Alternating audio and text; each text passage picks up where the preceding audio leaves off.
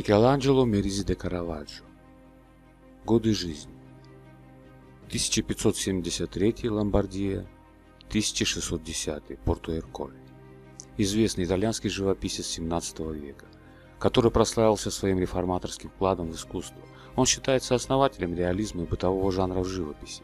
Обучался, жил и творил Микеланджело сначала в Италии, а затем переехал в Неаполь и на Мальту. Умер вследствие заболевания малярией в возрасте 39 лет. Искусствоведы признают новаторство его подхода к изобразительному искусству.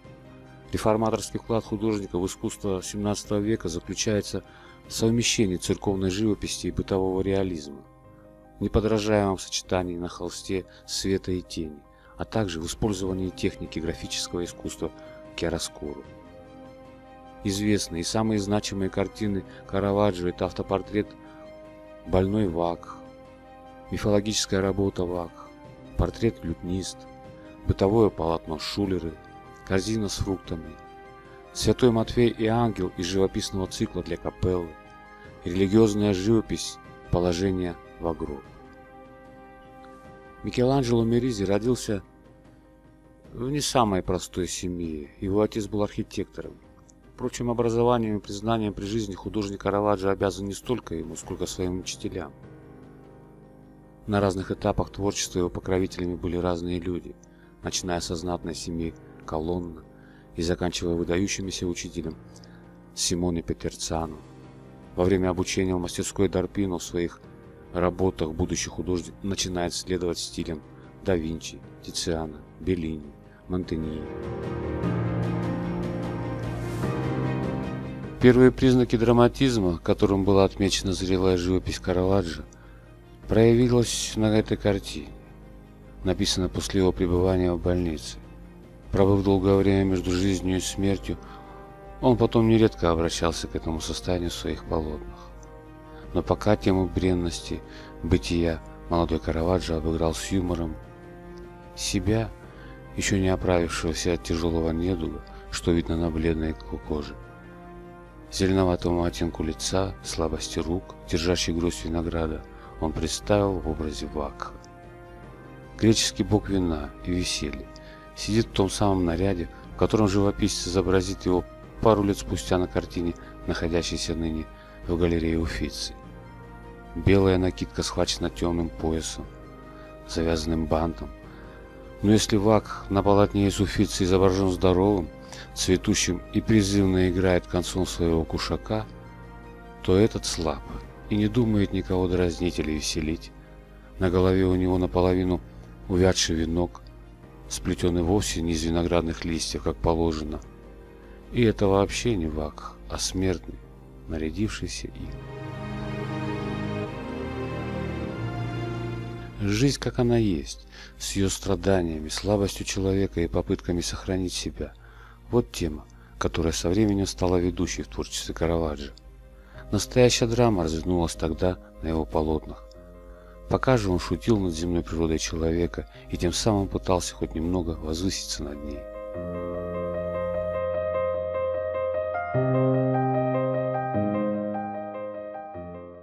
Интересно, что при рентгеновском анализе картин, сохранившихся до наших времен, не обнаружено следов карандашных или угольных набросков. Это косвенно подтверждает предположение искусствоведов, что образы художник переносил сразу на холст, без предварительных эскизов. На ранних этапах творчества Микеланджело давал волю своему гению, рисуя с натуры уличных мальчишек, бродяг, торговцев. Так появилось полотно Шулера, которое современными искусствоведами считается первой ласточкой в жанре бытовой живописи.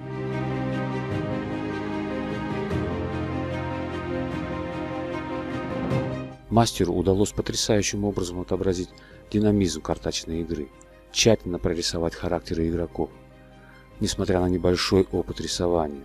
Композиция изображения построена по классическим канонам. Три фигуры мужского пола расположены в воображаемом треугольнике. Это упрощенная композиция, которая упрощает восприятие сюжета и мотива картины. Что касается сюжета, то здесь двое мошенников обыгрывают простодушного, неопытного юноши в карточной игре, одной из разновидностей покера. Юноша несколько наивен, он легко и спокойно смотрит карты. Мужчина зрелых лет находится за спиной засмотревшегося на колоду мальчишки.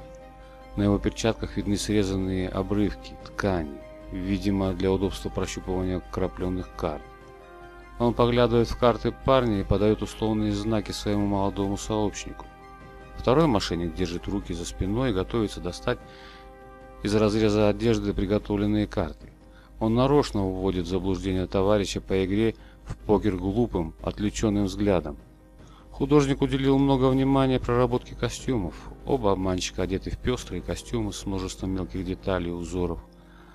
На поясах короткие ножи, на головах шляпы с яркими перьями. Означают ли эти кинжалы, что игра навряд ли кончится для жертвы благополучным исходом? Это мы не узнаем. На лице у молодого шулера выражение простодушия и даже легкой глупости. Все сделано, чтобы отвлечь внимание играющего с мошенниками мальчика от закулисных трюков. Фон картины нейтральный, бежевый. На нем отчетливо заметен большой, освещенный солнцем участок. Вообще в полотне Шулеры достаточно много света и мало затемненных участков. Отказавшись от драматизации, Караваджо пишет гимн веселому празднику и игре. В настоящее время полотно находится в музее Кимбл.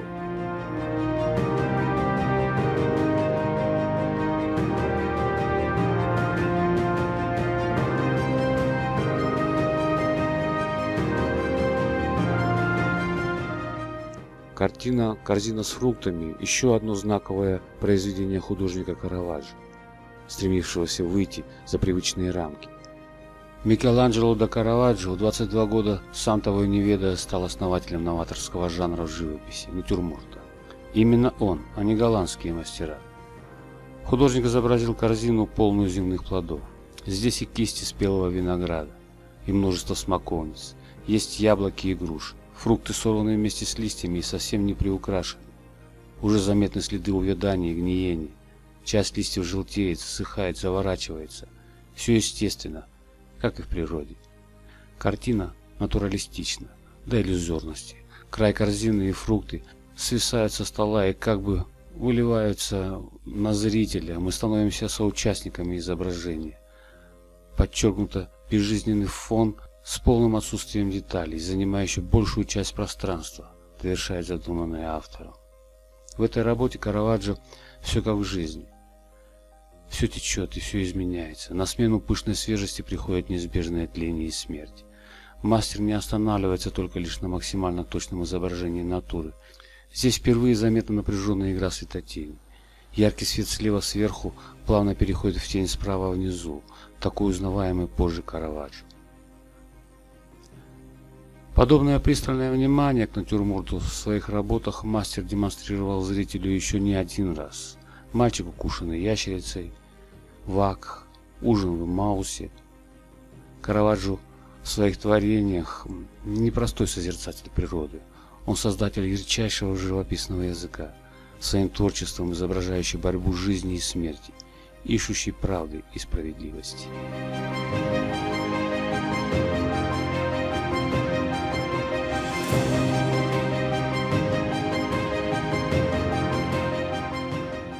Однако истинную славу живописцу принесли работы на библейские мотивы, где в ликах святых при внимательном рассмотрении можно было увидеть лица простых людей. Потому живописью Караваджо возмущались церковники и восхищались богатые вельможи. В коллекциях знатных современников гения было немало его работ, и на религиозную тему в том числе. Одну из таких картин под названием «Положение в гроб» он написал для римского храма Санта-Мария делла Валичелло. Ее считают одной из самых лучших в творчестве художника. Мрак, наступивший по всей земле, расступается перед трагическим действием. Пятеро кладут в каменную могилу шестого Христа. Апостол Иоанн и старец Никодим с трудом удерживают на руках тело своего учителя, снятого с креста. Иоанн подставил свое колено и рукой обхватил Иисуса неумело вложив пальцы в рану от копья. На Никодима же пришла вся тяжесть мертвого тела Спасителя. Вены на ногах сдулись от напряжения. Старец смотрит в сторону зрителей и словно передает нам свою ношу. Край могильного камня и локоть Никодима осязаемо присутствует за полотном. Они вот-вот прорвут пространство. Композиция шедевра Караваджо безупречна. Пирамида из шести фигур начинается справа сверху от скинутых к небу рук Марии. Мимо склоненной головы Марии, Магдалины к фигуре Девы Марии и далее к Никодиму и Иоанну и завершает все рука самого Христа. При этом все освященные части фигуры образуют правильный овал. На картине нет ни криков, ни слез. Все участники траурной процессии в глубокой и тихой печали прощаются с Христом навек. Но уже вскоре они узрят воскресение Учителя, увидят вечную жизнь, свет победит тьму, смерть будет попрана смертью во имя спасения человека.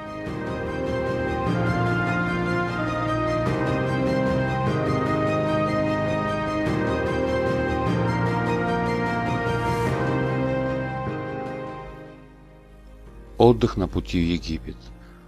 Одна из первых его картин.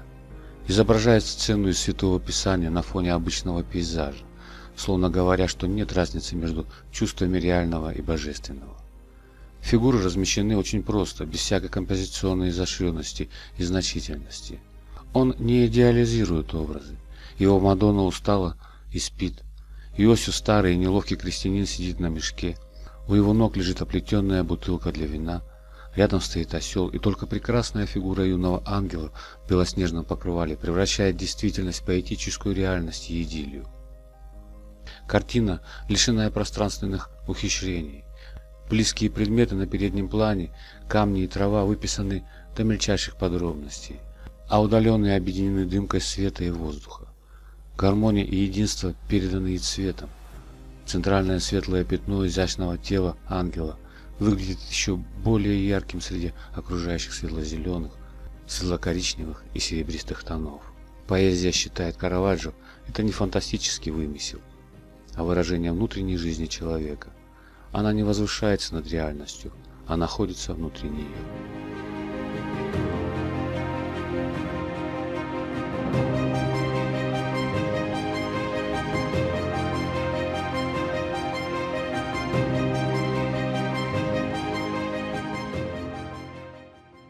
Картина «Святой Матфей и ангел» задумывалась как часть живописного цикла для капеллы Конторини. Мастер создал две версии. Одна была отвергнута, как несоответствующая требованиям канонов. Апостол сидел и держал на коленях книгу, едва разбирая написанное. Ангел, парящий над святым, прилагал значительные усилия, направляя руку пишущего святого. Создавалось впечатление, что работая над картинами, он искал что-то очень важное для себя – Яркое цветовое разграничение мирского и высшего в его полотнах создает дополнительный контраст между двумя этими сферами. Детальная прорисовка фигур и предметов, находящихся на первом плане, придает событиям реальность. Такая трактовка образов совершенно не устроила церковных служителей, и они настояли на второй попытке. Оригинал первого варианта не сохранился, есть только черно-белая репродукция. Вторая версия сильно отличается от первой композиции эмоциональным посылом. Размеры полотна были увеличены. На очень темном, почти черном фоне ярко выступают две фигуры. Матфей внимательно прислушивается к ангелу над его головой. Одежда святого контрастирует с ангельским белоснежным одеянием. Поза святого очень неустойчива, но он не обращает на это внимания, старательно записывая откровения ангела. Участь второго полотна тоже была бы незавидной, если бы не искусствовед Роберто Лонги который заново открыл их и подготовил к выставке работ художника.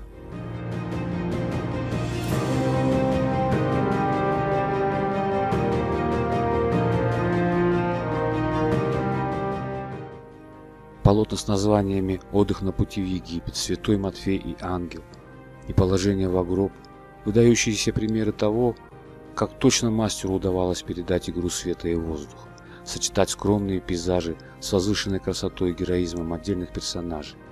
Вместе с тем библейские герои у Микеланджело лишены какой-либо патетики и возвышенности, как это было популярно среди его современников. Это обычные простые люди, однако красивые и с выразительными характерами. Хотя к работе над украшением церквей итальянский художник Караваджо подходил с присущим для него новаторством, и не каждый его заказ принимался монахами сразу – но именно церковная роспись сделала его известным для широкой публики. Впервые в таком виде работ он был задействован в церкви Сан-Луиджи де Франчези, где сегодня находится одно из самых известных полотен художника – «Святой Матфей и Ангел». Поклонники произведений Караваджо съезжаются в Сан-Луиджи де Франчези со всего мира, чтобы полюбоваться этой легендарной работой. Среди прочих заказчиков числились церкви Кеза Нового, Санта-Мария де ла Скала, Интрастевере, Санта-Агастино Лоретто, Святой Лючии и другие. На разных этапах своего творчества итальянский художник Караваджо создавал для них шедевр за шедевром. Однако далеко не все его работы были одобрены заказчиками-монахами. Раскрывая свой гений в жанре реализма, живописец все больше отходил от церковных канонов того времени. В некоторых персонажах его полотен и сейчас угадывается образ самого автора – в других он изображал своих моделей, среди которых числились даже куртизанки.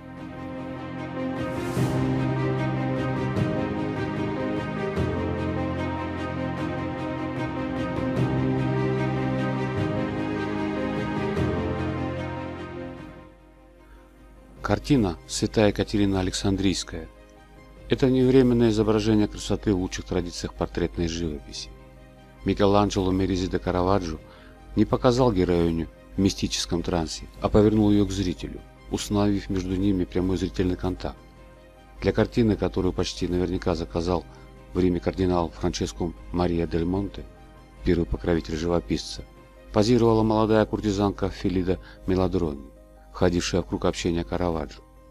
Святая одета в богатые одежды по моде того времени, белую блузку с широкими рукавами, не спадающими свободными складками и золотой отделкой на декольте – а также в лиловое платье, украшенное широкой тесьмой и золотой нити спереди и на бретелях. Каштановые волосы разделены на пробор и убраны в прическу. Мягкое полудетское лицо, пухлые губы, аккуратные губы, темные настороженные глаза. Если бы не тонкий золотистый нимб над головой, изображение было бы портретом обычной девушки. Она стоит на коленях, на подушке из красного дамаста. Наклоненное тело опирается на сломанное колесо, символ ее мученичества, с оси которого свисает роскошная, плотная тяжелая синяя ткань. Женщина осторожно сжимает меч, кончик которого окрашен красным.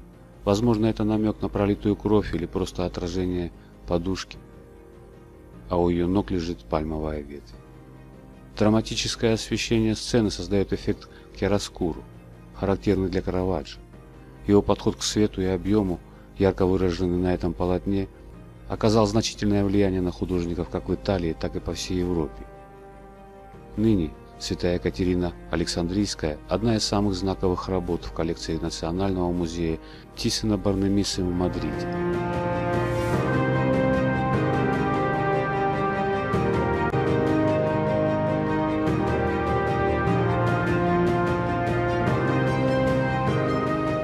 Среди картин Караваджо, написанных по заказу церкви, всемирно известные «Ужин в Маусе» и «Неверие апостола Фомы», «Иоанн Креститель» и «Взятие Христа под стражу». Сегодня они находятся в частных галереях и публичных музеях, например, в галерее Дария Памфили и Капитолийском музее, где их могут посмотреть все желающие. В личностях великих людей нередко сочетается бес и гений и Микеланджело не исключение. Наряду с тем, что у юноши изначально легко было рассмотреть талант, в глаза бросался и его здорный характер, и неотесанный внешний вид. Отчасти двойственность его натуры и привлекала интерес публики. Прежде чем стать известным во всей Италии, юному гению пришлось поскитаться с места на место и даже побывать в изгнании. Такие мыторства биографы и живописца объясняют совершенными им преступлениями. Будучи в бегах, мастер возобновил свою творческую деятельность, нашел новых заказчиков и даже был посвящен в рыцари.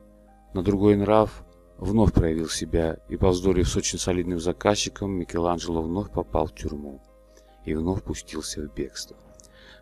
В XVII веке быть официально признанным в Риме художником могли только члены Академии Святого Луки. Микеланджело заручился положительными рекомендациями живописцев Урацио Джентилески и Просперо Орси. Однако глава Академии Федерико Цукари во внимание их не принял. Его не впечатлили даже сенсационные, собирающие восторженные толпы полотна в церкви Сан-Луиджи де Франчези. Отметив в них отсутствие какой-либо новизны, за исключением влияния недооцененного на то время мастера Джорджони, глава Академии раз и навсегда отказал художнику Караваджо в столь необходимом членстве.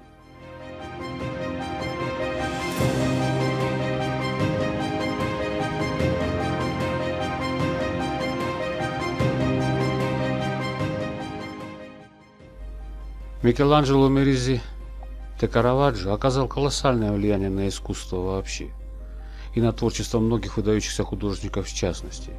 Однако его буйный, невероятно вспыльчивый характер стал притчей о языцах.